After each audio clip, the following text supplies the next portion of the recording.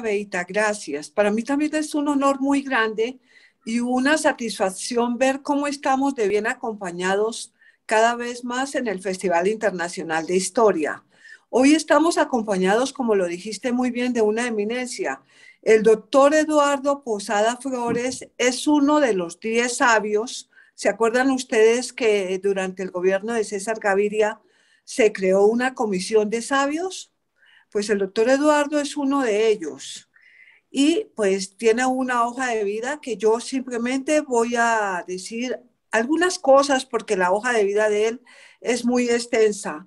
Él se hizo primaria y bachillerato en el Colegio Andino de Bogotá, después se fue a estudiar eh, a Lausana en Suiza y allí no solamente sacó sus estudios universitarios, sino que se doctoró y es un experto en temas de bajas temperaturas, de criogénesis, de superconductividad y en la producción de helio.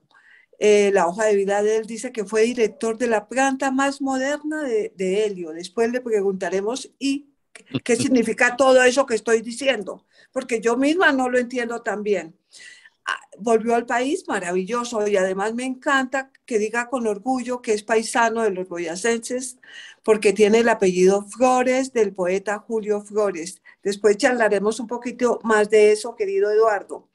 Presidente de la Asociación Colombiana para el Avance de la Ciencia. Se dice que él es uno de los padres de la política de ciencia, tecnología e innovación yo conocí a Eduardo porque me lo presentó otra científica eminente con la que compartió la Fundación de Maloca, que es la doctora Nora Elizabeth Hoyos. Eh, el doctor Eduardo también es miembro de número de la Academia Colombiana de Ciencias Exactas, Físicas y Naturales. Dirige tesis de todo lo que se refiere a ciencia, tecnología e innovación. Fue presidente de la Sociedad Colombiana de Física, presidente de la Asociación Internacional en Maloca. Bueno, una cantidad de asociaciones, de revistas, de artículos, todo relacionado con la física, con la ciencia, con la innovación. Eh, también eh, sé que ayudó a la formación de nuestro Ministerio de Ciencia y Tecnología. En el curso de la conferencia podemos ir preguntándole muchas cosas para que satisfaga nuestra curiosidad. Él es una persona encantadora. Ya lo comprobarán ustedes personalmente. Doy la palabra al doctor Eduardo. Bueno, no, muchísimas gracias, Mariela. Realmente lo de eminencia y todo lo que tú has dicho es absolutamente exagerado. Solamente he sido, he sido un, un, amigo de la ciencia, pues un apasionado de la, de la ciencia y un convencido de que la ciencia es fundamental para un país. Y hoy pues me propongo hablarles de eso, no sin antes agradecerle a la Fundación, a Beatriz, a Mariela y a Nora Elizabeth, que está por allá en España, pero que también tiene parte de la culpa de que yo esté aquí esta tarde. Y para mí realmente es, es un, muy grato tener esta oportunidad de, de hablarles de uno de, mis, mis obsesiones, que es la necesidad de hacer ciencia en Colombia. Yo voy a hacer una presentación de algunas diapositivas, entonces voy a compartir pantalla y me dicen si se están viendo, están viendo mi pantalla ya, están viendo la, la presentación. Sí, señor. Sí, señor.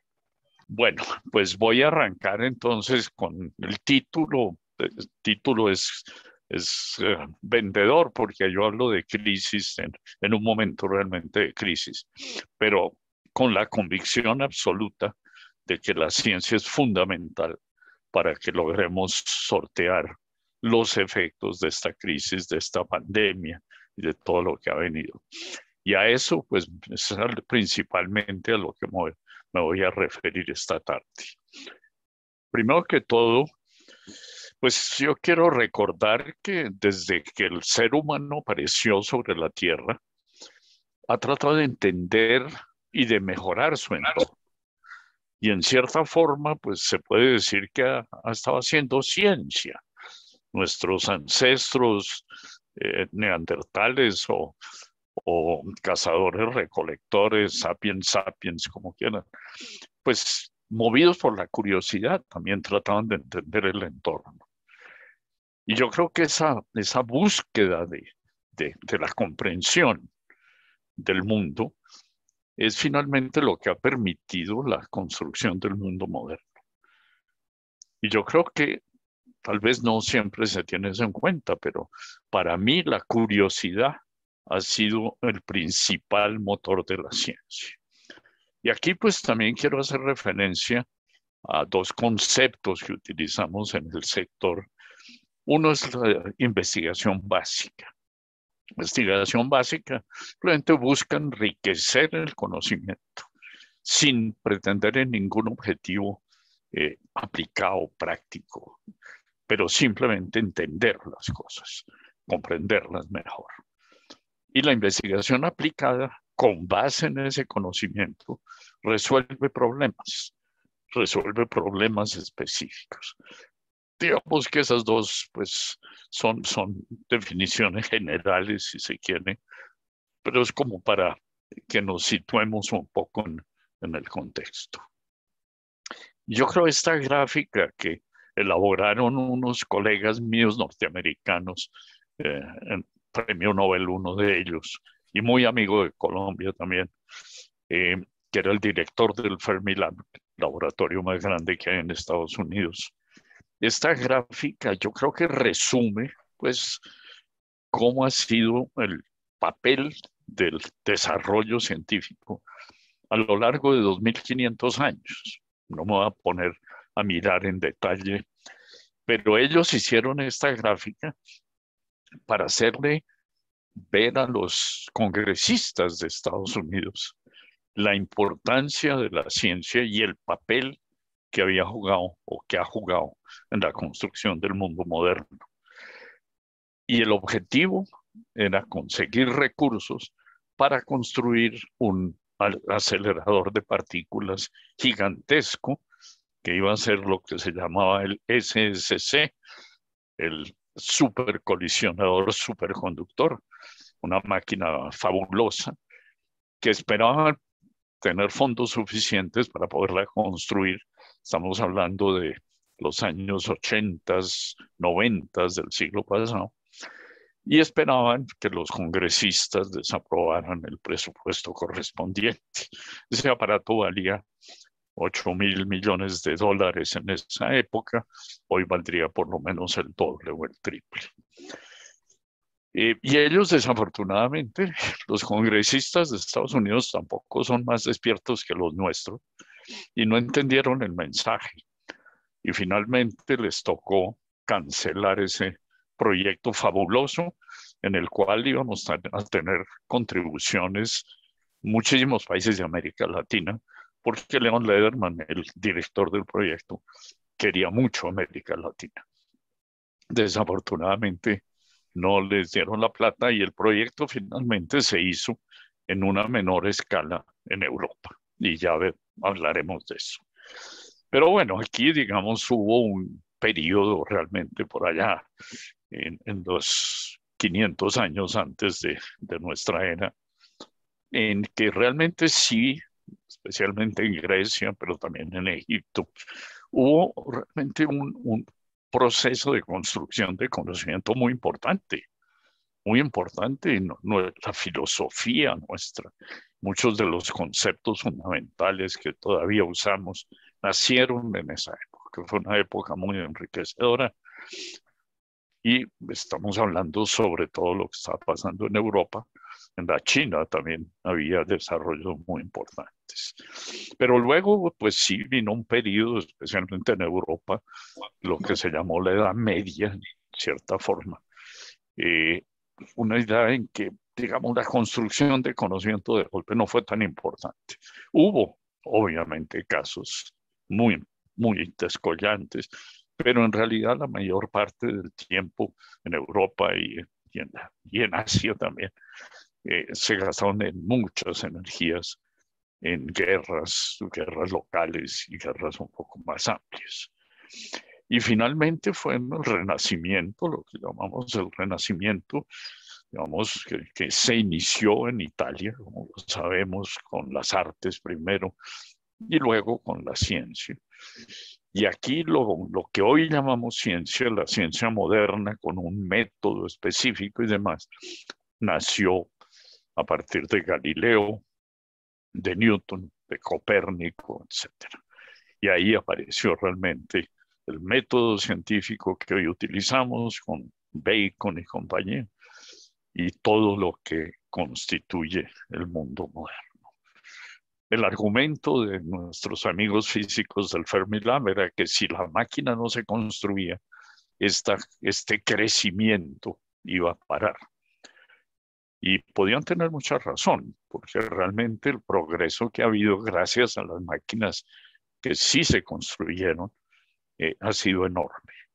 Pero bueno, esto, digamos, resume un poco, y si ustedes se ponen a detallar la gráfica, ahí verán muchísimas de las cosas sobre las cuales también les voy a hablar.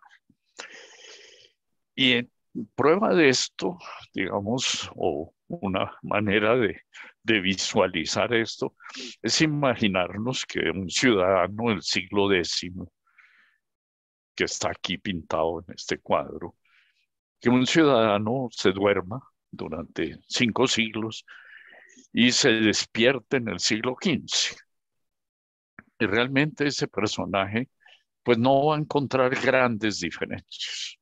Fundamentalmente las ciudades van a seguir siendo similares, las armas serían muy parecidas, espadas y de golpe aquí uno que otro cañón, que la artillería estaba empezando a dar sus primeros pinitos, pero la navegación a, vela y, y, la vida diaria pues también muy similar, ¿no? Pero si ese mismo ciudadano se despertara cinco siglos más tarde, en el siglo XX, se encontraría en un mundo absolutamente incomprensible para él, en el cual le costaría mucha dificultad adaptarse y entender, empezando por ver estos, estos vehículos, por ejemplo, sin caballos, ver objetos volantes, ni pensarlo pues, en los siglos anteriores, etc. Y realmente el paso que llevó a ese mundo, el factor esencial es la ciencia, y nadie lo puede negar. La ciencia y la tecnología, pues que es la, finalmente la aplicación de la ciencia. Yo les voy a hablar de algunos de esos, de esos descubrimientos, algunos productos de esa investigación básica que han tenido un enorme impacto social. Es decir, la sociedad se ha conformado, se ha estructurado a partir de avances de la ciencia. Me voy a referir a dos, dos que tienen bastante parecido y uno pues un poco más alejado. Y el primero de ellos es el celular, que para nosotros pues, se ha convertido en un instrumento cada vez más cercano, cada vez más necesario, cada vez más indispensable y que prácticamente llevamos siempre con nosotros. Ya hablaremos un poco de lo que va a pasar con eso. Internet, indiscutiblemente, está cambiando el mundo, está cambiando la sociedad humana y nos está llevando tal vez a una nueva etapa en la evolución. Y por último, les voy a hablar algo de las vacunas para estar un poco dentro de la actualidad y destacar que todo esto se debe realmente a la ciencia. Y voy a empezar por el celular. Y el celular es hecho de ciencia básica la gente no, no, no se pone a analizar en general dónde se originó ese famoso celular, de dónde nació, cómo llegó. Y muchos piensan que fue un invento de Steve Jobs, tal vez en una noche de, de, insomnio. Pero nadie se pone a analizar que el celular sin un montón de ciencia básica, sin un montón de curiosidad, nunca se hubiera podido eh, construir. Y voy a mencionar algunos de los hitos necesarios para llegar a eso. Primero, las ondas electromagnéticas, el descubrimiento de las ondas de radio por Hertz. Si eso no hubiera ocurrido, pues no tendríamos cómo los celulares no se podrían comunicar, ni los satélites podrían comunicar.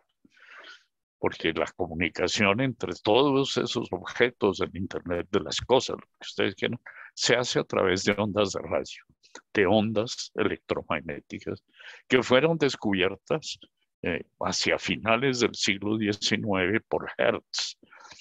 Y Hertz lo único que estaba haciendo era tratando de verificar una predicción que había hecho otro físico unos años antes, un físico muy ilustre, Maxwell, que había predicho que debían existir unas ondas electromagnéticas. Y bueno, eso con base en los cálculos que había hecho, en las ecuaciones que él había desarrollado, basándose en un montón de conocimiento básico anterior. Hertz se puso a buscarlas, al igual que otros muchos, pero el que ganó la carrera fue Hertz.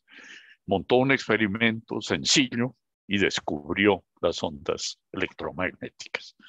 El mercado no estaba pidiendo eso, porque muchos dicen que no, que la ciencia y la innovación son, son fruto del mercado. No, nada que ver. La curiosidad de Maxwell, de Hertz, el deseo de entender la naturaleza, permitió el descubrimiento de las ondas electromagnéticas. J. Thomson, años ya hacia finales, en los últimos años del siglo XIX, Thomson jugando con un aparatico que tenían muchos físicos, que era un tubo de vidrio al vacío en el cual se podían hacer experimentos. Haciendo experimentos con un tubo de esos, Thomson descubrió la primera partícula elemental. Hasta ese momento no se sabía, primero, ni siquiera de la existencia de los átomos. Los químicos creían en los átomos, los físicos no. Se pensaba que era un modelo simplemente, pero que no tenía nada de particular, que no, era real. Y pues Thomson descubrió la primera partícula elemental que se llamó el electrón hace tan solo 124 años. Es decir, que estos son conocimientos muy recientes. Primer paso hacia el descubrimiento de la estructura de la materia, la estructura fina de la materia. Otro físico, ya no tan joven, muy reconocido en el medio, que estaba tratando de entender de qué manera un objeto caliente emite luz, porque cuando yo caliento un pedazo de hierro, pues primero se ve rojo oscuro y a medida que lo voy calentando más se va volviendo más, más claro, más brillante. ¿Cómo es el proceso? Y tratar de describirlo y de entenderlo. Pues Planck estaba en esas y fue realmente el que tuvo la primera idea de lo que llamamos la mecánica cuántica, de los quantum, de que la luz se podía propagar en forma de partículas, en forma de, de, de pedacitos de energía, de paquetes de energía. Y ahí fue el nacimiento de la mecánica cuántica, junto con Einstein, que pudo explicar un fenómeno que Hertz había observado durante su experimento que no había podido explicar. Einstein lo explicó acogiendo las ideas de Planck. Y ahí nació la mecánica cuántica, que es la teoría del mundo microscópico, la teoría que trata de describir lo que pasa a la escala de los átomos y de las partículas que constituyen la materia. Y de ahí nació pues, toda la descripción de la, de la materia, la que hoy tenemos. De ahí nació la, la, explicación coherente de la química, de los procesos de la biología y finalmente la teoría de la materia. Y se entendió que había materiales especiales como por ejemplo los semiconductores y del conocimiento de esos materiales fue que se pudo inventar un dispositivo que ha jugado un papel extraordinario en el mundo actual, que tiene 70 años de, de, ser inventado, que es el transistor. Y con ese transistor, metiendo muchos transistores juntos, se fabricaron los chips, que son la base de toda la electrónica actual, son la base de nuestros teléfonos celulares, de nuestros computadores y de todo el mundo moderno. Pero, como ustedes ven, es un proceso de investigación básica fundamentalmente. Nadie estaba buscando aplicaciones comerciales de todo eso. Esas aplicaciones surgieron después. Primero, la ciencia básica. Y aquí está finalmente en 1973 el celular, inventado finalmente en su forma actual por un señor Cooper en la Texas Instruments, una empresa industrial. Pero todo el trabajo que vino antes fue en general hecho por las universidades, los centros de investigación y financiado por los gobiernos. La industria interviene cuando ya las cosas están bastante avanzadas, cuando ya se tienen bastante claras. Y bueno, les puedo decir que la máquina famosa que Leon Lederman quería construir en Estados Unidos, pues se hizo más pequeña, pero todavía gigantesca, en Europa, en Ginebra. Y es lo que se llama el CERN, es el Centro Europeo de Investigaciones Nucleares. Y la máquina esa, pues está, es un tubo que está en un túnel que tiene 27 kilómetros de circunferencia, en el cual en ese tubo viajan haces de partículas y se hacen colisiones entre partículas. Lo que esto busca es ampliar ese conocimiento acerca del mundo microscópico, ampliar el conocimiento acerca de los átomos y de la estructura de las partículas que forman los átomos. Ese acelerador, pues es la máquina más gigantesca que hay. Hay grupos colombianos trabajando allá y ahí se han hecho descubrimientos tan importantes como el del bosón de Higgs. Ahora, todo esto es investigación básica, es tratar de entender la estructura de la materia. Pero lo que ha surgido de esa enorme máquina de ciencia básica es, es a su vez gigantesco. Por ejemplo, el CERN utiliza imanes superconductores para poder guiar esas partículas en su trayectoria. Y esos imanes también son los que utilizan los médicos en sus equipos de resonancia magnética. Las tecnologías que se utilizan en medicina o en cómputo, en supercomputadores, se han beneficiado enormemente del trabajo que se desarrolla en un laboratorio CERN. Y lo más notable, digamos, como subproducto de la actividad del CERN, es sin lugar a dudas el nacimiento de Internet. 1989, hace exactamente treinta y pico de años, 32. Este señor, un inglés, un físico del CERN, propuso la idea de la triple W es el verdadero nacimiento de Internet. Internet no nació en el ejército de Estados Unidos, nació en el CERN. Y ahí fue el gran salto. Y pues creo que una cosa como esta justifica plenamente la existencia de un laboratorio como el CERN. Y voy a cambiar de tema. Las enfermedades. En la Edad Media y hasta el siglo XIX, enfermedades como la viruela diezmaban las poblaciones, como la peste, sin que se tuviera ni la más mínima idea de cuál era su causa real y, y menos aún de cómo combatirla.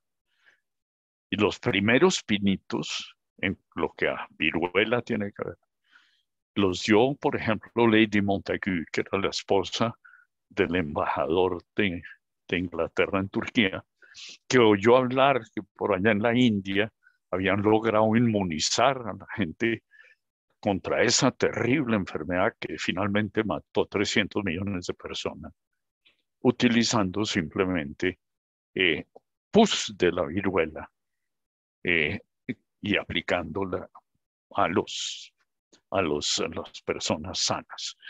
Y Lady Montague empezó con eso, hizo pruebas con sus hijos y los logró inmunizar.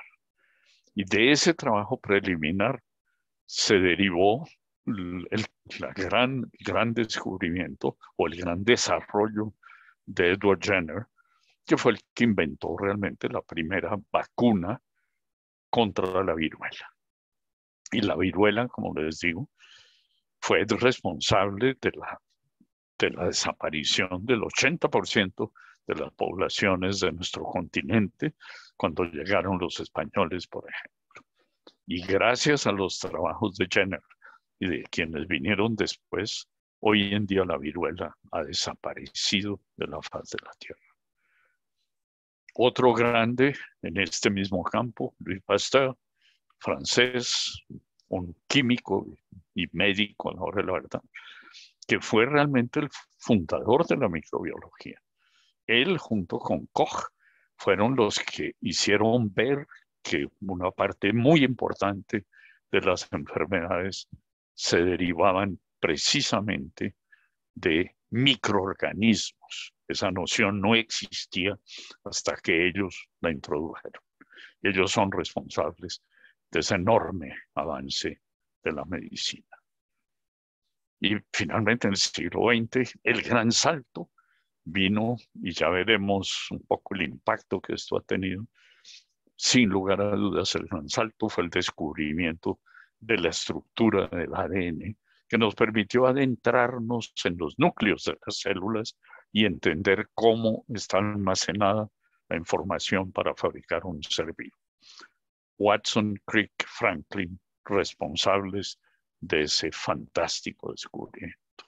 Y gracias a eso, esta gráfica que para mí es más que diciente de la importancia de la ciencia, esta es una gráfica del Banco Mundial que muestra la expectativa, la esperanza de vida al nacer de la población de diferentes regiones del planeta a lo largo del tiempo, a lo largo desde 1770 hasta nuestros días.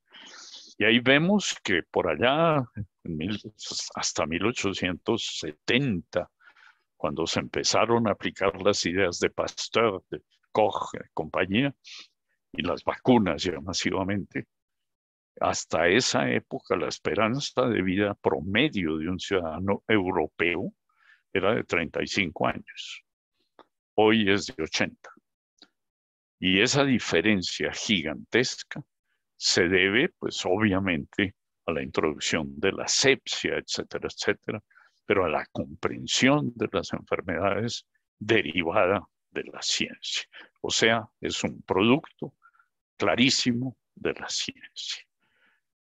Eh, voy a hacer aquí un pequeño break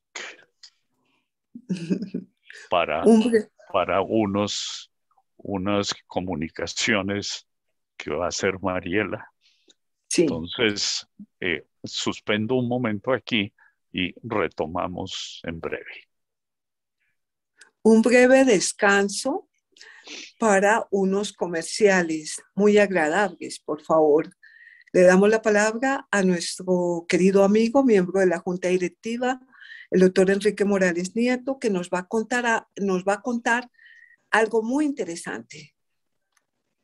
Bueno, muchas gracias. No tan interesante como lo que está hablando el doctor Eduardo Posada, pero bueno, eh, sí, eh, una buena noticia, como ustedes ya saben, es nuestro cuarto festival ese se convierte en el evento cultural del año, cuarto festival de, historia, eh, que inicia este viernes 10 de septiembre, sigue el sábado y el domingo. Eh, es un festival que, tiene un nombre ¿no? Muy, muy, muy eh, cautivador, una historia bien contada. son 15 conferencias, 15 conferencias magistrales. Ustedes saben que todos los conferencistas nuestros eh, son muy bien seleccionados por un comité muy estricto académico, en donde tenemos miembros de las, de las de, distintas academias, especialmente la Academia de Historia de Bogotá, la Academia de Historia eh, Colombiana y muchas otras academias. Entonces es muy importante este, estas 15 conferencias. aquí tenemos las conferencias, ¿no? La, y, la conferencia inaugural ese va a ser a cargo del exministro Juan Camilo Restrepo Salazar.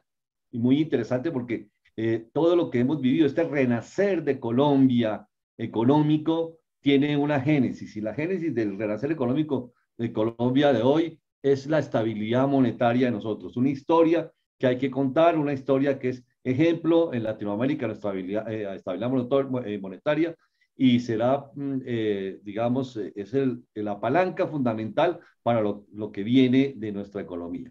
Bueno, aquí están todas las conferencias. Tenemos eh, temas bien interesantes como la historia de Antioquia. Eh, hay un tema que será apasionante, que los invito a ustedes, ¿no? ¿Podrán los niños de hoy vivir más de 100 años? Una conferencia apasionante por tres grandes amigos nuestros que son eh, médicos de la Fundación Santa Fe. y entonces están muy, muy invitados. Todas las conferencias, la, la, guerra española civil, las guerras religiosas de los eh, siglos XX y XXI. Eh, bueno, me quedaría aquí todo el tiempo mm, hablando, las conferencias están en, en, nuestra página y también ahora las van a ver eh, más adelante en el chat, las conferencias que tenemos. También tenemos algo que es muy importante, el Tardeando con la Historia para los Niños y el Festival de Historia de los Niños. fíjense cómo los niños son muy proactivos y desde pequeñitos les encanta la historia de los de, científicos. Eh, Albert Einstein va a ser uno de los protagonistas que le vamos a contar para los niños, pero también eh, tenemos, eh, hemos tenido a, Marie Curie, a, distintos exponentes de la ciencia, y es increíble cómo los niños, entardeando con la historia, han amado y se han entregado a su curiosidad y a los temas científicos, ¿no? Entonces, va a ser muy importante para que ustedes tengan a sus hijos, a sus nietos, a sus hermanitos, etcétera, para, para, para este Tardeando con la Historia y este festivalito eh, que también tendremos nosotros.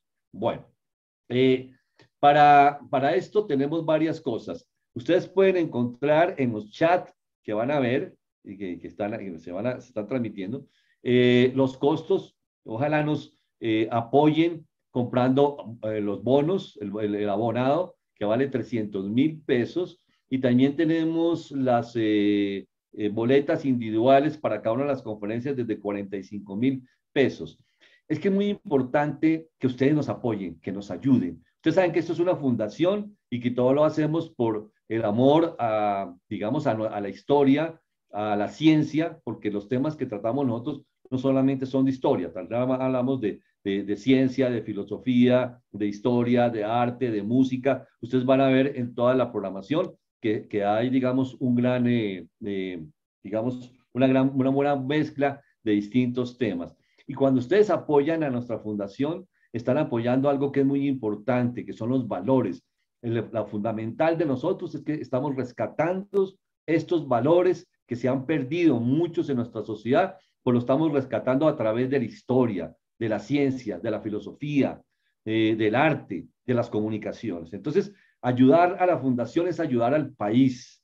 Y, nosotros les quisiéramos pedir que por favor se vuelvan en un canal de comunicación de nosotros, que esta invitación la hagan también a todas las, eh, sus amistades, a las empresas. Es, bien interesante. Y para esto, pues eh, es muy importante que no solamente ustedes no se la apoyen, sino que también van a apoyar las empresas.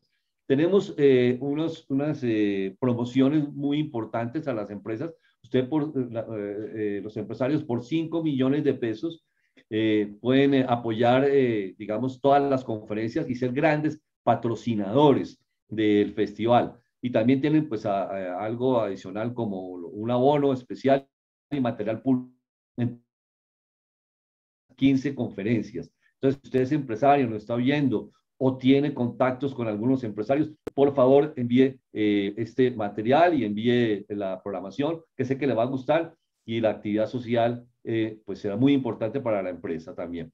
La conferencia inaugural también patrocinarla vale un millón de pesos. Eh, también tenemos las distintas franjas horarias en, en las conferencias. Vamos a tener conferencias simultáneas, todas muy buenas.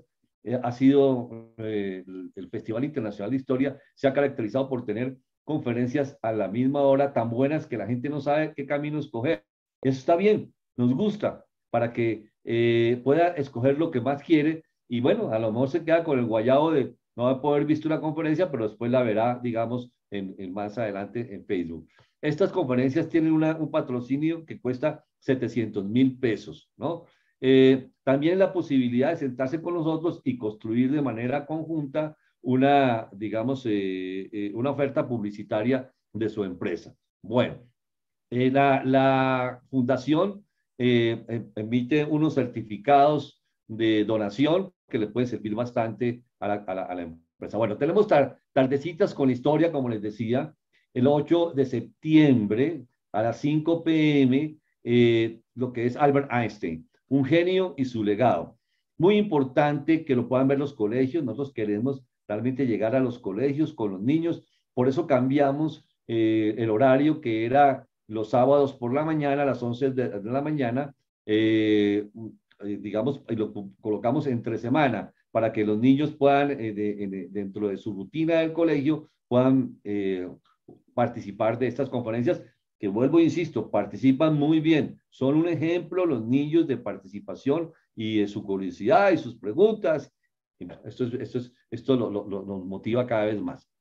Bueno, eh, bueno, esos eran los, los eh, comentarios que quería hacerlo. Y bueno, doctor Eduardo Posada, eh, es tan interesante esto que ojalá pues nos demoremos mucho, mucho más de lo que nos demoramos en todas las, las, las charlas que se presentamos, porque usted nos tiene verdaderamente fascinados con el tema. Siga, doctor Eduardo, por favor. Gracias, doctor Enrique. Sigo presentando. Entonces, volvamos. Eh, ¿Me ven? ¿Están viendo la, la diapositiva? Sí, estamos viendo. Luego me das tiempo de contar algo muy interesante. Eh, ¿Quieres contarlo ahora o después? Sí, creo que lo debo contar ahora. En este momento, cuando Enrique estaba haciendo los anuncios, nos llamó un gran amigo empresario, el ingeniero Jairo Malaver, que es el fundador y presidente de una empresa maravillosa en Colombia que se llama Ingeniería Estilo, que es la empresa que eh, es especialista en ascensores, vende los ascensores más modernos y los cuida muchísimo y nos ha anunciado su patrocinio. Yo quiero hacer un reconocimiento a este gran empresario y agradecerle muchísimo. Y bueno, a todos ustedes muchas gracias. Y a él también, y a su empresa. Sigue, por favor, Eduardo. Gracias. Bueno, pues invito a todos ustedes a participar en el festival también y a patrocinarlos, pero ojalá todo se dé como con el éxito que, que se ve, se puede prever. Y precisamente la pregunta de si, si eh, el ser humano va a poder vivir más de 100 años, yo creo que sí. Es decir, esta gráfica es sumamente elocuente y se ve que ya estamos en promedio en Europa en 80 años. Y eso gracias a la ciencia, sin lugar a dudas, nadie lo puede negar. Entonces, es, es claro que igual que en los otros temas que les he mostrado, la ciencia juega un papel fundamental. Y bueno, pues para actualizarnos ya muy concretamente, yo creo que la pandemia ha mostrado claramente que sin la ciencia, y especialmente sin ciencia básica, estaríamos a leguas de comprender el virus y, y aún menos de poderlo controlar. Eso no cabe la menor duda. Yo estoy completamente convencido de eso. Y es gracias en particular a lo que ya les comenté del descubrimiento de la estructura del ADN por Watson y Crick, que tenemos hoy la capacidad para poder elucidar la estructura del virus y también las herramientas para esperar combatirlo con éxito. Y yo, pues, que soy crónicamente optimista, estoy seguro de que gracias a esa ciencia, ciencia básica del mayor nivel, vamos a poder finalmente ganar esa lucha. Y yo creo que la ciencia va a ser fundamental en eso. Y finalmente, pues creo que la sociedad en general está dándose cuenta de lo importante que es la ciencia, de lo importante que ha sido hasta hoy. Y yo creo que el futuro, pues seamos optimistas. Con la terapia génica, por ejemplo, la capacidad de modificar genes defectuosos. Muchas enfermedades tienen su origen en genes defectuosos, por ejemplo, que gracias a eso, pues vamos a poder avanzar aún más en el control de las enfermedades y en la prolongación de la vida. La fabricación de órganos de repuesto utilizando células totipotentes, impresoras 3D, etcétera, etcétera, que sin duda nos va a permitir tener un corazón hecho con nuestras propias células, de, de, manera que no va a tener rechazo por parte del sistema inmune del organismo. Y yo creo que uno de los hechos que, que se viene encima y que nos va a revolucionar aún más es precisamente la capacidad de conectar directamente el cerebro con un computador, sin pasar por un intermediario, por una pantalla, por un, un teclado, etc. Imagínense el día que tuviéramos un celular injertado en alguna parte y conectado directamente al cerebro, que nos pudiéramos conectar directamente con Internet y todo lo demás y hablar con nuestros amigos sin tener que pasar por aparatos intermedios. Pues así parezca ciencia ficción, eso ya, ya se está avanzando muchísimo en eso. Uno de los que están empujando más el tema es precisamente Elon Musk, un físico que está dedicado a este tipo de, tecnologías de avanzada. Y claro está que vamos a tener cada vez más avances en inteligencia artificial, en robótica, hasta, hasta el punto de que muchos se preguntan si finalmente las máquinas no nos van a reemplazar. Yo espero que no. Espero que las máquinas serán un complemento para nosotros, pero que a lo mejor sí vamos a desarrollar más unas especies de híbridos entre computadores y seres biológicos. Y un paso muy, muy grande que se ha dado últimamente es el, el, gigantesco logro del computador cuántico. No voy a entrar en detalles, pero son computadores basados directamente en la mecánica cuántica y que tienen una capacidad que es millones de veces mayor que el computador más poderoso eh, con tecnología clásica. Entonces, estas son cosas que se están viniendo encima. Pero, sin embargo, tenemos amenazas. La amenaza de las pandemias, yo creo que lograremos controlarla. Va a ser una lucha muy dura, va a ser una lucha muy difícil, pero gracias a la ciencia creo que vamos a, a lograrlo. Pero hay una amenaza que realmente se nos está viniendo encima y contra la cual realmente hay pocas, pocas perspectivas de salir adelante. Y aquí tenemos imágenes, estas son fotos de la misma zona hace unos 25, 30 años de este lado y hoy. Y como ven, pues ha cambiado totalmente el panorama. Los glaciares, y estas son fotos tomadas a lo largo de, unos 80 años. Un glaciar completamente cubierto de, de hielo y ese hielo va desapareciendo y finalmente en el día de hoy no hay prácticamente más hielo. Es el, el glaciar de, de Chacaltaya, en Bolivia. Y es impresionante lo que ha pasado. Y eso es completamente concreto. Y esto no es, no es tampoco ciencia ficción ni un montaje. Entonces, ¿qué, qué soluciones estamos viendo venir? Pues a corto plazo y a muy corto plazo hay que introducir masivamente las energías alternativas. Reducir en lo posible la emisión de gases de invernadero, reducir drásticamente la emisión de metano, de CO2, etcétera, y cambiar la producción de energía por fuentes alternativas como las que vemos aquí, energía solar, energía eólica, etc.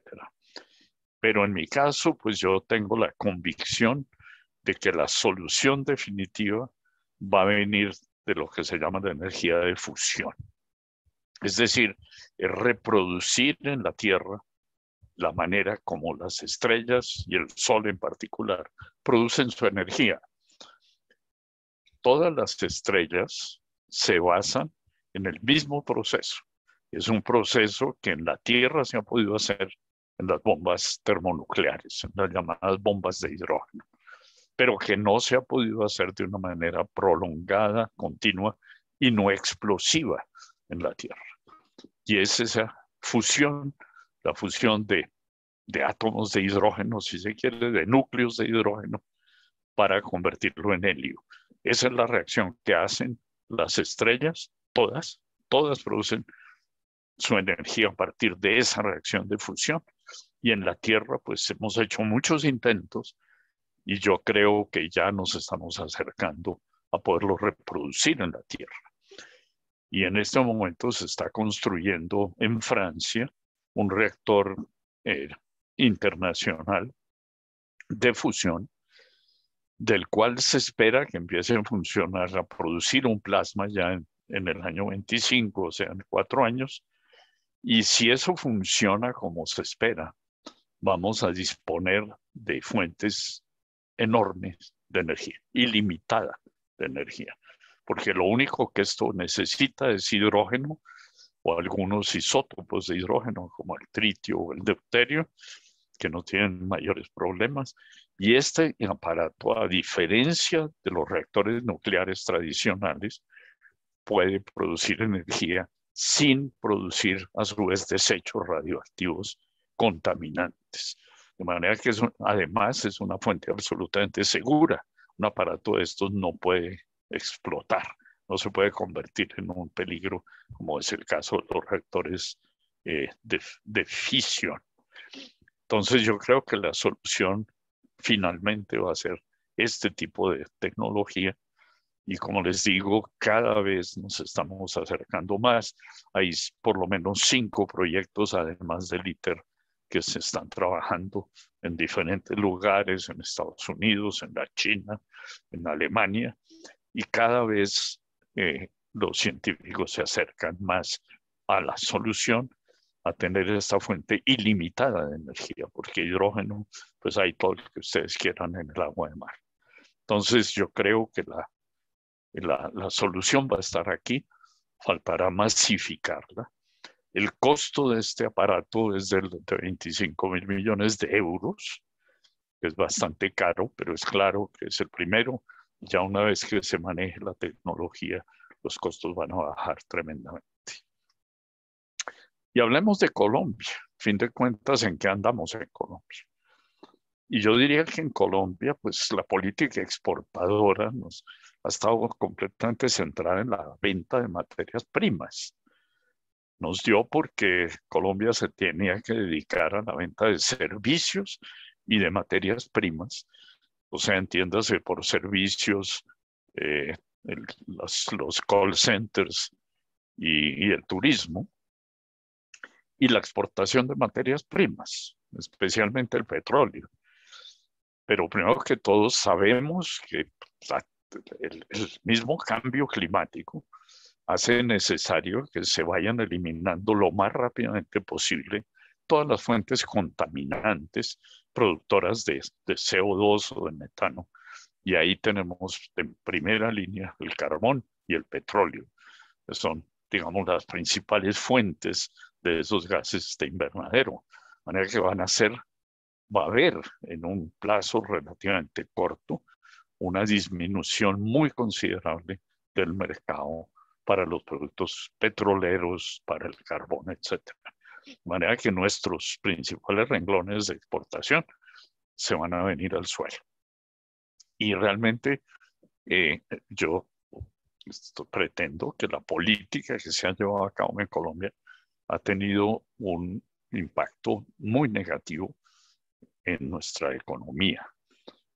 Hemos minimizado, destruido la capacidad industrial. Colombia producía un poco de todo hasta producíamos vacunas.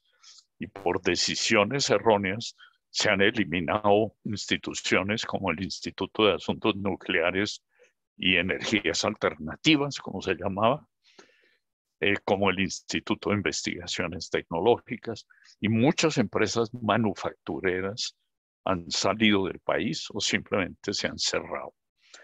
Y yo creo que se nos ha olvidado, como dice aquí, que naciones como Suiza, como Israel, Corea, Costa Rica, han entendido que la principal riqueza de un país está en su gente.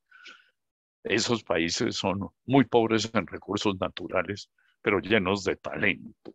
Suiza tiene 28 premios Nobel, tres premios Nobel por millón de habitantes. Es el país que más tiene.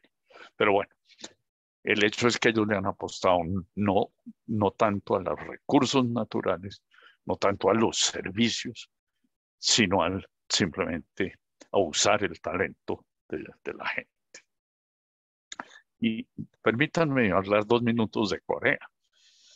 Corea hoy es la decimotercera economía mundial. Es un país que tiene la misma población que Colombia, 50 millones de habitantes.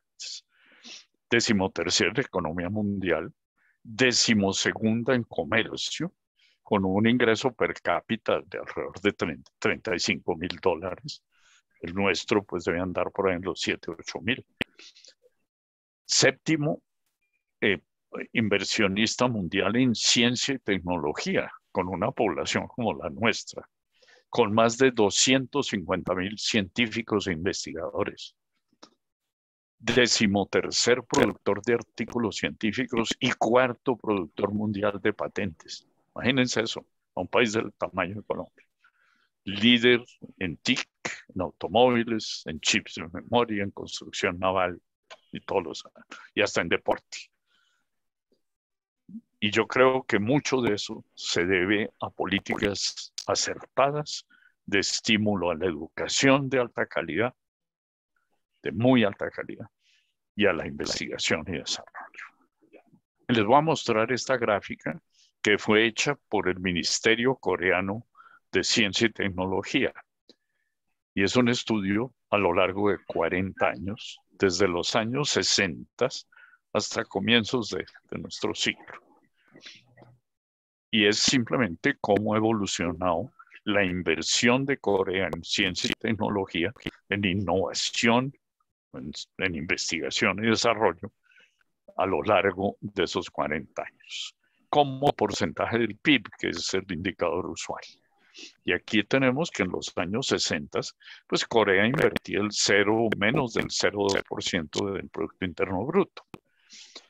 Y precisamente gracias a políticas acertadas del gobierno, eh, empezaron a incrementar la inversión en investigación y desarrollo a lo largo de los años y ya para los años 70 del siglo pasado se estaba acercando al 1%, que es lo que UNESCO recomienda para un país que quiera tener un mínimo desarrollo económico y social. Y luego, pues se tomaron medidas aún más drásticas, no voy a entrar en detalles, se lanzó un plan muy ambicioso de estímulo a la investigación, a la ciencia, y gracias a ese plan, al final de los 80, comienzos de los 90, ya se estaba llegando al 2% del Producto Interno Bruto. Y finalmente, a comienzos de este siglo, Corea había alcanzado el 3%. Y aquí vemos que hoy Corea está invirtiendo el 4,5% de su Producto Interno Bruto y el 75% proviene de la industria.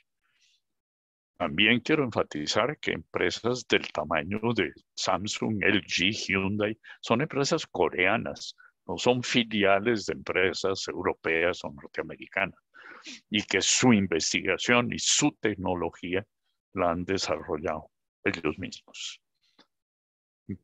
Y esto pues es la trágica, el trágico resultado de este gran esfuerzo. Y aquí vemos que en los años 60, esta gráfica también es del Banco Mundial, eh, y compara el Producto Interno Bruto de Corea, de Sur Corea, con el de Colombia. Eso se puede hacer porque tienen más o menos la misma población. Y vemos que en los años 60 el Producto Interno Bruto de Corea, pues a la hora de la verdad, si esto se ampliara, era inferior al de Colombia. Nosotros teníamos un ingreso per cápita superior al de Corea y bastante. Corea tenía 30% de analfabetismo en esta época.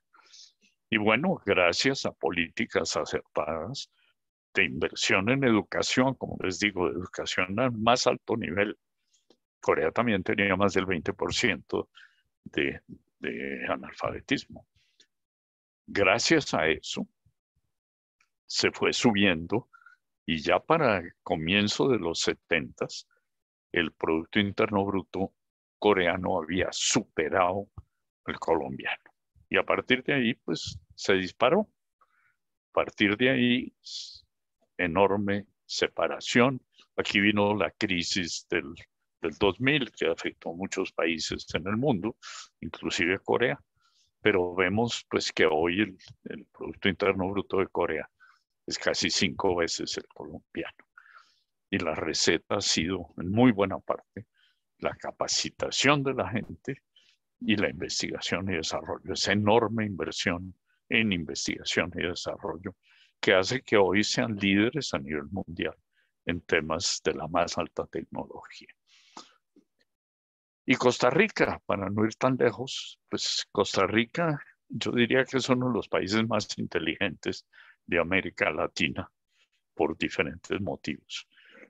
Pero fue el primer país de América Latina en crear un ministerio de ciencia y tecnología, o tal vez el segundo después de Brasil.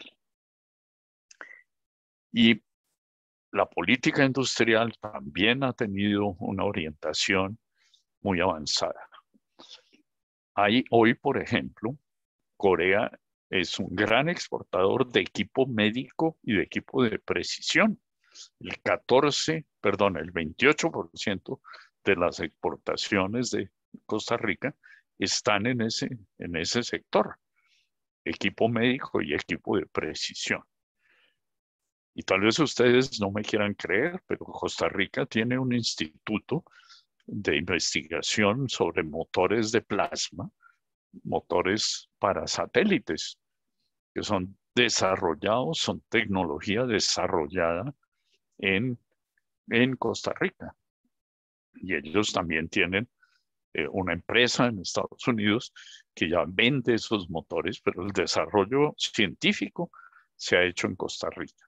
Y vemos el crecimiento que ha tenido las exportaciones de equipo médico eh, lo cual es pues muy, muy halagador, porque indudablemente requiere un alto nivel tecnológico. Nuestras exportaciones están basadas, como les decía, en petróleo, carbón y un poquito de agricultura, pues principalmente el café y ahora el aguacate Ellos en Costa Rica, no, se basan en exportaciones industriales.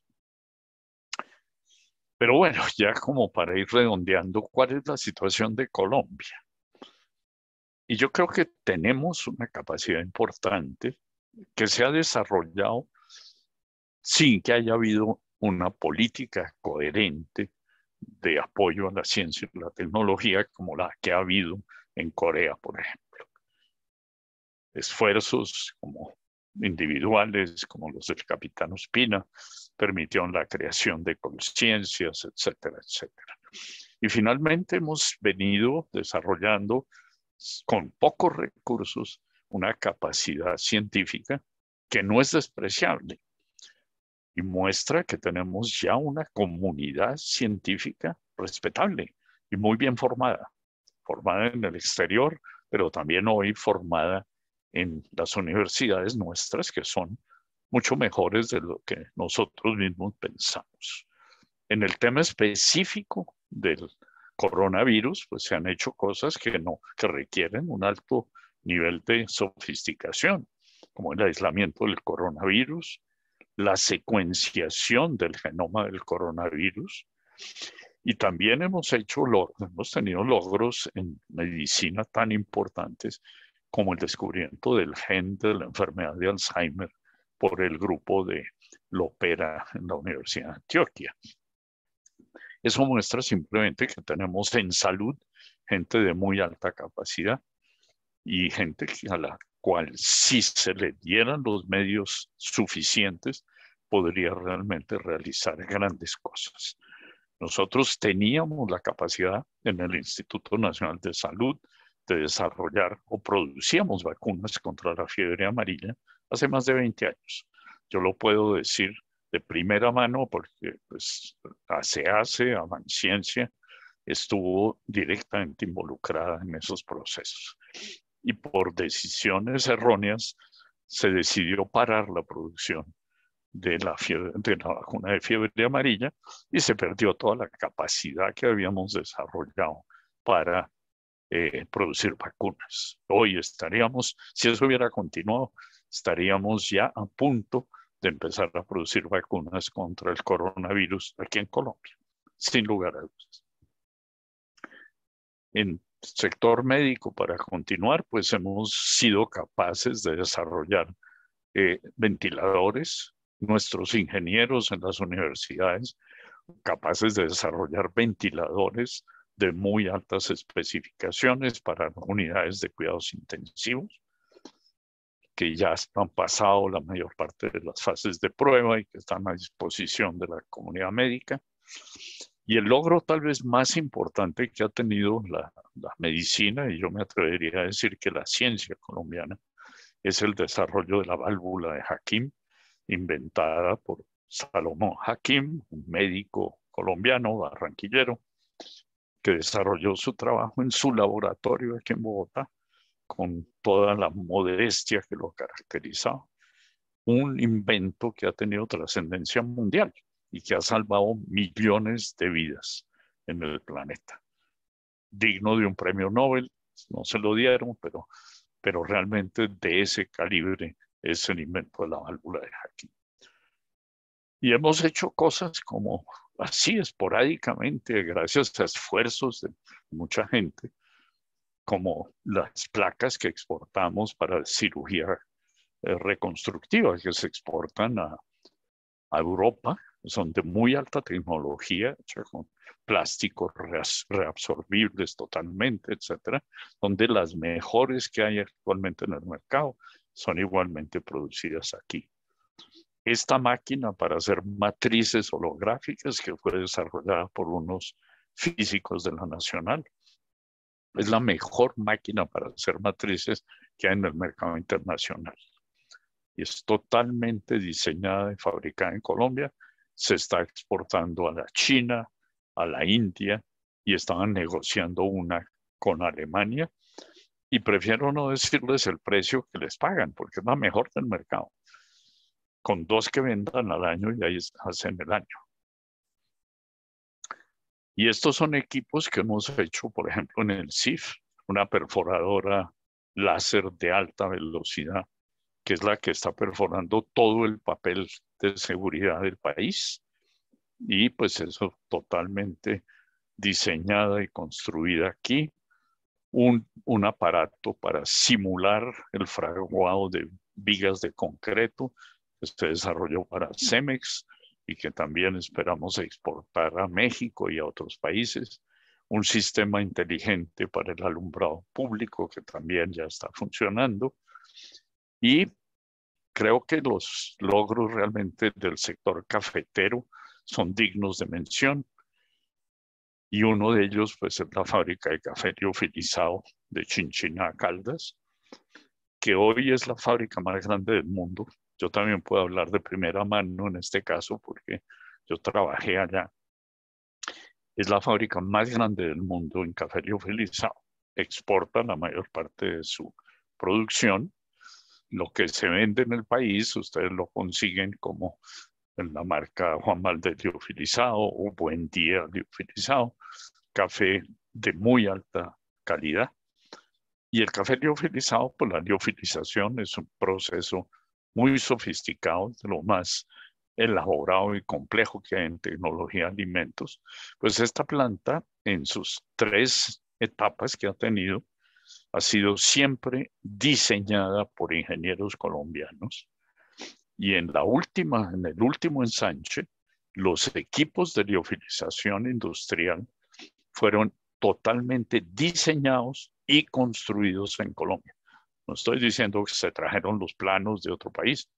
Se, todo se desarrolló en Colombia y es la fábrica más grande del mundo. Y esto muestra la gran capacidad que tiene la ingeniería nacional. Y por último, pues está un logro ya muy reconocido, que es la variedad Colombia de café, que hoy se llama variedad Castillo, en honor de Jaime Castillo, su desarrollador, y es la primera variedad de café arábigo resistente a la roya, lo cual hace que los cafeteros colombianos, los que siembran la variedad Castillo Colombia, no tienen que fumigar con unos ahorros enormes eh, para el sector. Y es un desarrollo igualmente de la ciencia colombiana. Esto para ilustrar que sí tenemos ciencia. Entonces yo creo que la pandemia finalmente nos está abriendo oportunidades. La oportunidad de repensar nuestro sector productivo, de iniciar un, sector, un, programa de creación de nuevas empresas de base tecnológica, de, de hacer una reconversión industrial, de revivir parte del sector industrial que, que se ha tenido que cerrar. Y yo creo que en las universidades y centros de investigación hay suficiente capacidad para apoyar esos emprendimientos de, alta tecnología. Y es obvio que para todo eso hay que invertir.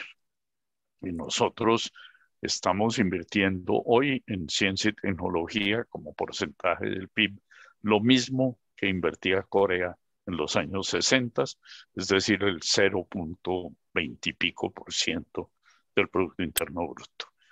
Israel invierte 4,5 por ciento, los países de la OCDE invierten alrededor del 2 por ciento, nosotros somos pues la cola de todos los de la OCDE y uno de los que menos invierte aún en América Latina, con el 0,27%. O sea, es urgente que eso cambie. Y ya pues, si eso se logra, estoy seguro de que el país tiene la gente para hacerlo.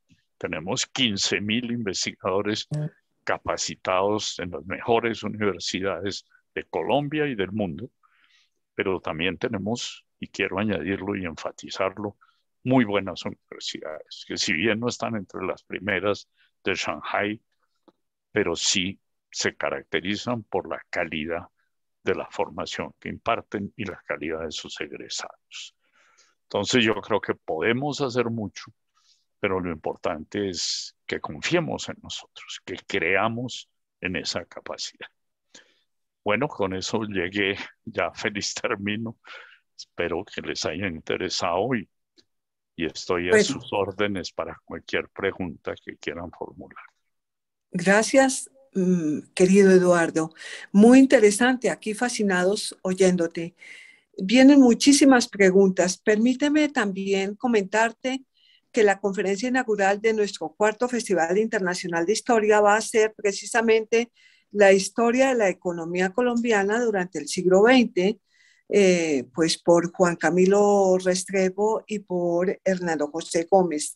Es mm. muy interesante que veamos ahí qué hemos hecho bien y qué no hemos hecho bien, porque los números que no se hacen, los números eh, que pudieron darse pero que no se dieron, casi nunca los analizamos y son muy importantes. Tú mismo nos has hecho una comparación con Corea, fabulosa. Mientras ellos invirtieron en ciencia y tecnología, tal vez nosotros invertimos en armamentismo, porque Colombia es el punto más privilegiado de la Tierra. Yo diría que es el ombligo de la Tierra. Y eh, en serio, y entonces es un punto tan fascinante, el puente entre el Atlántico y el Pacífico, y realmente hay una temperatura media tan agradable que no sentimos necesidad de nada. Y como la necesidad es el motor de la inteligencia y de la supervivencia, pues no hemos tenido necesidad de sobrevivir. Nos parece que sí, pero el significado de hambre es muy diferente al que le damos aquí, al que le damos o le pueden dar los europeos y otros tantos. Yo creo que por ese estado de comodidad es que nosotros somos así tan dejados, ¿no? Pero bueno, aparte que vamos a tener una conversación tan interesante, quiero hacer varias cosas. Mira, la sesión inaugural, te lo quiero contar, va a ser en el Club Metropolitan. El Club Metropolitan se ha sumado como patrocinador a nuestro cuarto festival y vamos a, estar ahí en un salón precioso que hay con vista a los eucaliptos, aunque tú ya sabrás que los eucaliptos es una especie que no es nativa, que vino de pronto y que no hemos luchado tanto por las especies nativas, pero bueno, estamos ahí enfrente. Eh, le agradecemos mucho al Club Metropolitan. También le agradecemos a la firma de abogados Cortázar Urdaneta, que es un patrocinador nuestro de este cuarto festival. porque es tan importante oírte y oír a todos los que nos cuentan tantas cosas tan importantes para nuestro desarrollo, porque si aprendemos historia es precisamente para mejorar, para mejorar las propuestas, para mejorar, eh, enderezarnos, ¿no? Entonces, por eso les agradecemos a estos dos grandes patrocinadores, a Cortázar Urdaneta Abogados y al Club Metropolitan y a todos los que vengan. Em, inmensas gracias. Como decía un amigo, Alberto Gómez, eh, si uno no conoce, eh, no ama. Y si no ama, no protege. Entonces, estos esfuerzos tuyos, y tú mencionabas al Capio Espina, el Capio Espina es Alberto Espina, oye, yo lo admiro cantidades, y es el creador de Conciencias, me encanta que lo hayas mencionado. También está con nosotros una amiga que tú me comentaste muy querida, Elvira Cuervo de Jaramillo. Hizo una extraordinaria labor como ministra de Cultura. Aquí también hay físicos eminentes. Está Carmen Lucila Osorno, es una física eminente. Y tal vez todos los que están aquí son muy eminentes y les agradecemos muchísimo que estén con nosotros. Eh, tenemos que hablar muchísimo de estos temas. Eh, yo tengo muchas preguntas para hacerte y te voy a hacer la más prosaica, porque Beatriz después nos va a ayudar a hacer otras y, yo también te haré otras. Lo más prosaico, querido Eduardo, tú eres mi paisano boyacense. Y me alegra que lo seas. ¿Qué haríamos en Boyacá como para, para conversar con la ciencia, para mejorar nuestra economía? ¿Qué podríamos hacer? Algo tan sencillo porque tenemos que hablar de tú a tú eh, en la calle. Uy, pues Boyacá tiene cosas muy buenas y tiene, tiene sitios muy buenos para hacer ciencia. Eh, en las universidades en Boyacá son, son de primer nivel. En la UPTC, por ejemplo, hay excelente formación de excelentes físicos y hacen buena física, igual que Enrique Vera, por ejemplo, hace muy buena ciencia de materiales. De manera que, que en Boyacá y cómo. Y, y yo creo que una de las, por ejemplo, de los potenciales que tiene sería desarrollar mucho más la industria metalúrgica. Tiene Paz del Río, Paz del Río que pues desafortunadamente tiene una tecnología muy antigua hoy en día, no se ha modernizado, pero alrededor de eso sí se podría pensar y de la experiencia que hay en eso, eh, en desarrollar una industria metalúrgica mucho más fuerte en Boyacá. Sin hablar de la agricultura, pues mis, mis antepasados boyacenses eran ganaderos y campesinos. Y yo creo que Boyacá tiene, pues como tú lo dijiste, con el clima tan privilegiado que tenemos en Colombia, eh, tiene un potencial agrícola enorme.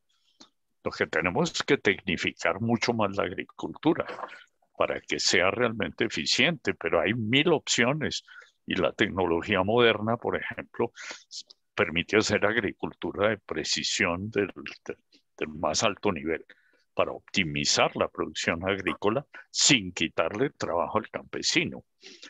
De manera que yo creo que Boyacá tiene un, gran potencial. Yo quiero mucho a Boyacá y todavía tengo algunos parientes por allá. Entonces, yo creo que tiene un potencial muy grande, sin duda. Claro que sí, como el potencial de las arañas, ¿no? La gran poesía de tu abuelo, bisabuelo, Julio Flores. No, bueno. en realidad no es, no es un pariente directo, pero sí, sí es como de la familia. Pero... Bueno, mira, eh, una pregunta que nos hacen y es, eh, ante el cambio climático, ¿qué relación puede haber entre ciencia y política? Bueno, eh, yo creo la ciencia fue la que detectó los primeros síntomas del cambio climático, porque fue gracias a la medición de la temperatura del océano, gracias a la observación detallada de la Tierra mediante los satélites, etcétera, que se pudo empezar a entender el clima. El clima es tremendamente complejo porque hay una cantidad de factores que influyen y es una interacción entre el océano, la atmósfera y la tierra sólida que tiene una complejidad enorme. Y de hecho la física del clima es de, de las ramas más complejas y requiere pues toda la artillería de la computación más avanzada y, y realmente de la física más avanzada. Entonces el clima es una cosa tremendamente complicada. Eh, pero es la ciencia la que nos ha permitido entrever o ver por qué.